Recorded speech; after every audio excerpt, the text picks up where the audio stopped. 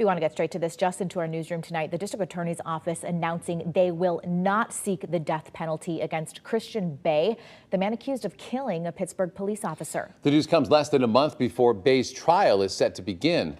Today, the DA's office filed a, notion, a notice to repeal the notice to seek the death penalty.